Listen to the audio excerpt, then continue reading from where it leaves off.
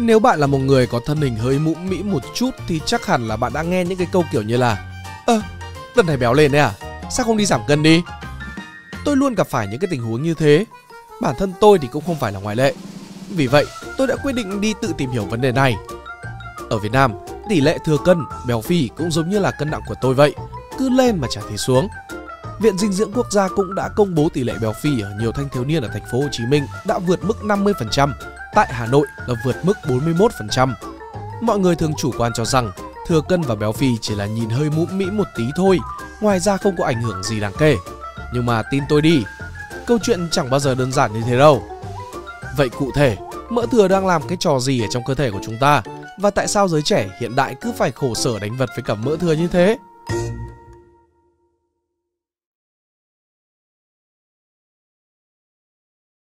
Định nghĩa và nguyên nhân trong quá trình tìm hiểu, tôi đã học được rằng thừa cân và béo phì là hai mức độ hoàn toàn khác nhau.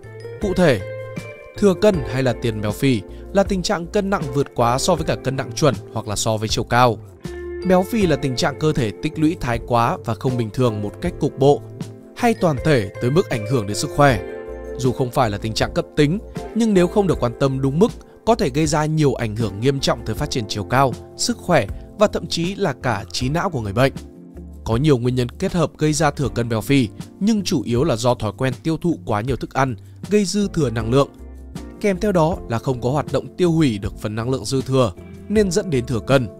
Nguyên nhân của béo phì ở người trẻ có nhiều yếu tố liên quan đến cả di truyền, môi trường sống và thói quen sinh hoạt.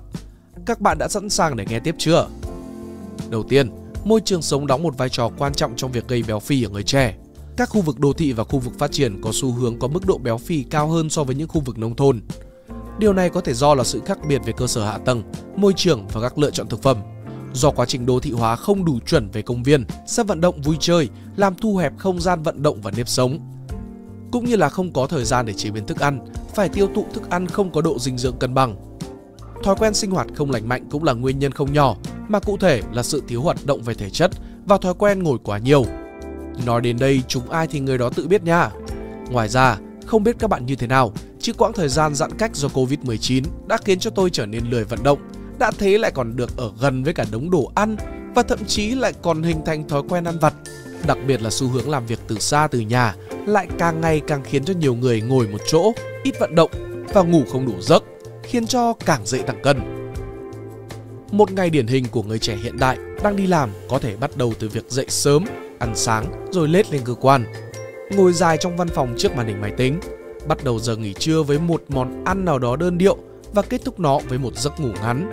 Sau đó, họ lại quay trở lại với công việc của mình tới khi tan ca. Tối đến, họ thường cảm thấy mệt mỏi và không có nhiều năng lượng để làm gì khác ngoài việc nghỉ ngơi. Tôi gọi cách sống này là kiểu sống như là zombie và tôi cũng đã từng đứng ở trong hàng ngũ này. Ngoài ra, còn có khoảng 10% người béo phì có nguyên nhân do bệnh lý nội tiết, chuyển hóa, di truyền và bệnh thần kinh gây ra, hoặc là do tác dụng phụ gây tăng cân của một số loại thuốc như là thuốc chống trầm cảm, thuốc động kinh, thuốc hạ đường huyết, vân vân, đôi khi còn là do di truyền. Như đã nói ở trên, béo phì và dư thừa năng lượng không chỉ ảnh hưởng đến ngoại hình, chúng còn gây ra những tác hại nghiêm trọng hơn. Nó đã và đang là một trong những vấn đề sức khỏe lớn cho con người trên khắp thế giới, đặc biệt là ở các nước phát triển như là Mỹ và rất có thể là cả ở Việt Nam ở trong tương lai. Một trong những vấn đề nghiêm trọng nhất mà bệnh béo phì gây ra là hội chứng ngưng thở khi ngủ. Theo tìm hiểu của tôi, với những người mắc hội chứng này, lượng mỡ cao sẽ đè nén lên phổi, có thể gây tắc thở và tử vong ở trong giấc ngủ. Ngoài ra béo phì gây ảnh hưởng đến chất lượng giấc ngủ, gây rối loạn dẫn đến mệt mỏi, căng thẳng trong sinh hoạt hàng ngày. Nó cũng có thể gây ra rối loạn tâm lý và các vấn đề về sức khỏe tâm thần. Nhiều nghiên cứu đã chỉ ra rằng người béo phì có nguy cơ trầm cảm và lo âu cao hơn so với người bình thường. Thứ hai, người béo phì cũng ảnh hưởng đến tài chính cá nhân khi người bị mắc bệnh này phải tốn khá nhiều tiền cho thực phẩm và đồ uống, đặc biệt là thực phẩm không tốt cho sức khỏe như là đồ ăn nhanh và đồ uống có đường. Cuối cùng, béo phì được liên kết với nhiều loại ung thư khác nhau. Theo Tổ chức Y tế Thế giới WHO, khoảng 20% số ca ung thư trên thế giới được cho là do béo phì. Các loại ung thư mà béo phì được liên kết đến bao gồm ung thư vú, ung thư trực tràng, ung thư buồng trứng, ung thư gan, ung thư tụy và nhiều loại ung thư khác. Vì vậy, giảm cân và duy trì cân nặng lành mạnh là cách hiệu quả để giảm nguy cơ mắc ung thư và cải thiện sức khỏe tổng thể của cơ thể. thực trạng quá trình giảm cân ở giới trẻ. Dĩ nhiên, việc nghiên cứu về nguyên nhân và hậu quả của béo phì không quá khó. Thử thách duy nhất và chiến thắng nó, đây cũng là điều mà tôi đã làm ở trong vài năm qua. Để giảm cân, bảo vệ sức khỏe thì kiểu gì cũng phải có công thức TIS và cũng có công thức ZAT.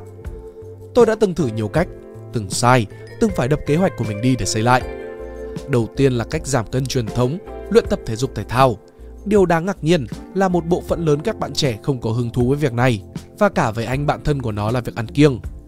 Theo khảo sát cá nhân, 7 trên 10 bạn trẻ ở độ tuổi từ 20 đến 27 tuổi, trong đó có tôi, đã chi một khoản tiền lớn cho các phòng gym theo quý hoặc là theo tháng. Nhưng mà chỉ đi được có vài buổi. Lý do thì muôn hình muôn vẻ, thiếu động lực, thiếu thời gian, thiếu sự hỗ trợ động viên, môi trường tập luyện không như ý muốn, hoặc là ngớ ngẩn hơn là vì thời tiết và giao thông không ủng hộ. Chính vì vậy mà tôi thấy nhiều người tìm đến các phương án nhanh gọn hơn, dễ tiếp cận hơn và quan trọng nhất là không tốn công sức. Theo hướng dẫn theo dõi và điều trị béo phì của Bộ Y tế, có các phương án tăng dần theo mức độ can thiệp như sau. Thay đổi lối sống toàn diện thông qua tập luyện và dinh dưỡng, can thiệp lối sống tăng cường và dùng thuốc, phẫu thuật. Phẫu thuật là một trong những biện pháp như vậy. Đây là biện pháp tiểu thuật để loại bỏ các phần mỡ thừa trên cơ thể. Hoặc cao hơn là giảm thể tích dạ dày như là thắt ống dạ dày, khâu gấp nếp dạ dày, tạo hình dạ dày, ống đứng. Ưu điểm của biện pháp này là tiết kiệm thời gian và có hiệu quả tức thì. Tuy nhiên biện pháp này lại không hề phổ biến bởi vì chi phí cao, sử dụng dao kéo can thiệp có thể làm giảm khả năng đàn hồi của da, gây ra sự thay đổi về hình dạng cơ thể hoặc là một số vết sẹo tùy thuộc vào phương pháp được sử dụng. Chưa kể rủi ro về phẫu thuật cũng không hề nhỏ, như cơ sở y tế không đảm bảo, sức khỏe bệnh nhân không chịu được cuộc phẫu thuật, dị ứng thuốc, sốc phản vệ, vân vân. Và quan trọng nhất, liệu pháp này chữa được cơ thể nhưng mà không chữa được ý thức của bệnh nhân. Sau khi phẫu thuật xong mà không cải thiện được sinh hoạt và thói quen ăn uống, mỡ thừa sẽ như người yêu cũ vậy, luôn luôn quay lại để làm phiền bạn. Cuối cùng, biện pháp mà các bạn trẻ sử dụng phổ biến nhất là sử dụng các sản phẩm hỗ trợ thay thế vì chúng dễ dàng tiếp cận, bao gồm các loại thực phẩm chức năng hỗ trợ giảm cân hoặc là thuốc giảm cân. Theo kinh nghiệm cá nhân, tôi thấy đây là hai thuật ngữ mà mọi người rất hay nhầm lẫn, mặc dù thực chất chúng là hai khái niệm hoàn toàn khác nhau. Thuốc giảm cân là một hình thức khá nặng đô, cần được kê đơn và sử dụng theo chỉ dẫn của bác sĩ để tránh các tác dụng phụ gây nguy hiểm cho người dùng. Việc sử dụng thuốc giảm cân một cách không đúng có thể gây ra những tác hại đến sức khỏe. Thường những loại thuốc này sẽ gây ra rất nhiều tác dụng phụ như là buồn nôn, đau đầu, rối loạn tiêu hóa, tăng huyết áp, mật ngủ, suy giảm chức năng gan và thận, loãng xương và các vấn đề về tim mạch, ảnh hưởng đến chức năng nội tiết. Các bạn trẻ dùng thuốc giảm cân như là một cách để giảm cân nhanh chóng mà không cần tập thể dục hay là ăn uống đúng cách. Thông thường, các sản phẩm gọi là thuốc giảm cân có tác dụng giảm cân rất nhanh bằng việc rút nước ra khỏi cơ thể. Khi người sử dụng ngưng thuốc thì ngay lập tức cân nặng sẽ quay trở về với bình thường, làm cho người tiêu dùng cần uống thuốc liên tục, gây ra vấn đề phụ thuộc. Hiện tại ở Việt Nam, chỉ có hai loại thuốc giảm cân được phê duyệt bởi Bộ Y tế. Là hai cái loại này, tên khó đọc quá, các bạn tự xem trên màn hình nhé. Mà để có thể sử dụng thì người dùng phải được kê đơn bởi bác sĩ. Chính bởi vậy mà họ sẽ tìm tới một biện pháp khác nhẹ nhàng hơn, thân thiện hơn là thực phẩm chức năng. Hiện nay có rất nhiều loại thực phẩm chức năng kém chất lượng trôi nổi trên thị trường. Những sản phẩm này đánh mạnh vào tâm lý khách hàng như là muốn giảm cân nhanh, không cần luyện tập. Những sản phẩm này có bản chất là thuốc giảm cân. Vì muốn tạo hiệu quả giảm cân rõ rệt trong thời gian ngắn thì các sản phẩm này thường phải được chứa các thành phần ẩn là các dược chất. Các nhà sản xuất thường gắn mác thực phẩm chức năng cho các loại thuốc giảm cân này để lách luật. Vì bán thuốc thì cần phải giấy phép, còn thực phẩm chức năng thì đơn giản hơn. Đặc thù của việc giảm cân khác một số loại bệnh khác, yếu tố dinh dưỡng và tập luyện luôn là cần thiết, kể cả với thuốc hay là thực phẩm chức năng. Tuy nhiên, về phần thực phẩm chức năng, đây là sản phẩm hỗ trợ, nhẹ nhàng và đơn giản hơn. Có thể sử dụng kết hợp dinh dưỡng và luyện tập, thậm chí còn phù hợp với cả chủ trương thay đổi lối sống toàn diện được Bộ Y tế khuyến cáo. Khi sử dụng thực phẩm chức năng, điều đầu tiên bạn cần là tìm hiểu kỹ về sản phẩm xem nó có an toàn hay là không, có được cấp phép hoạt động hay không. Tiếp theo là việc đọc hướng dẫn của sản phẩm để biết cách sản phẩm hoạt động ra sao. Bạn cần tuân thủ các chú ý sản phẩm đưa ra như là liều lượng, thời gian, các bệnh dị ứng. Tốt nhất là nên tìm đến những nhà cung cấp có tầm và có tâm với đội ngũ tư vấn chuyên nghiệp để họ theo sát quá trình sử dụng sản phẩm của bạn. Đối với thuốc và thực phẩm chức năng, đừng quá phụ thuộc vào các kênh truyền thông không chính thức hoặc các KOL, KOC. Hãy là người tiêu dùng thông minh, có trách nhiệm với bản thân và hãy tìm đến những sản phẩm được cấp phép đầy đủ bởi Bộ Y tế và sử dụng đúng theo hướng dẫn của chuyên gia. Biện pháp khắc phục Tình trạng béo phì gia tăng với nguyên nhân chính là do lối sống thiếu vận động và chế độ dinh dưỡng không hợp lý. Không quá khó để khắc phục vấn đề, nhưng để làm được thì nó lại đòi hỏi sự kiên trì và nỗ lực từ chính chúng ta. Để giảm cân và giữ gìn vóc dáng, một trong những cách quan trọng nhất là tập luyện thường xuyên. Bạn có thể chọn các bài tập nhẹ nhàng như là đi bộ, chạy bộ, tập yoga, aerobic hoặc bơi lội để giúp cho cơ thể đốt cháy năng lượng và giảm cân. Ngoài ra, việc tập thể dục còn giúp cải thiện sức khỏe tâm lý, giảm stress và cải thiện tâm trạng. Đồng thời, chế độ ăn uống cũng đóng một vai trò quan trọng trong việc giảm cân và duy trì vóc dáng. Bạn nên tránh ăn quá nhiều thực phẩm giàu dinh dưỡng và chất béo như là đồ ngọt, bánh kẹo, nước ngọt và thực phẩm ăn nhanh.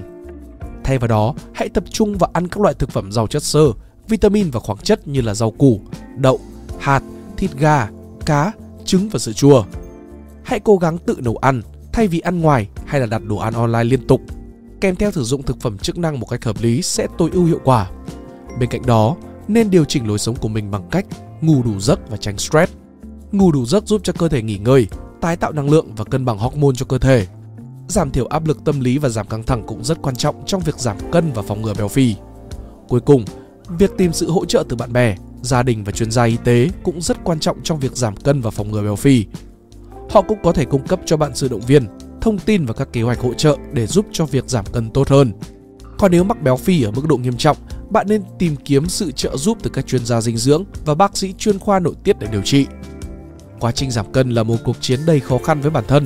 Tôi đã phải vật lộn với cảm giác đói, bị cấm ăn đồ yêu thích và phải tập luyện mỗi ngày. Cảm giác đói và cảm giác thèm ăn như là một vòng xoáy khó cưỡng lại. Những lúc như vậy, tôi chỉ nghĩ các bạn nên tìm động lực rõ ràng cho bản thân. Thỉnh thoảng lòng tôi có như mở cờ khi mà thấy cân nặng ở trên bàn cân giảm được một chút. Nhưng đôi khi tôi lại cảm thấy mệt mỏi, thất vọng vì cảm thấy như đã làm đủ nhưng mà vẫn không thấy kết quả như là mình muốn.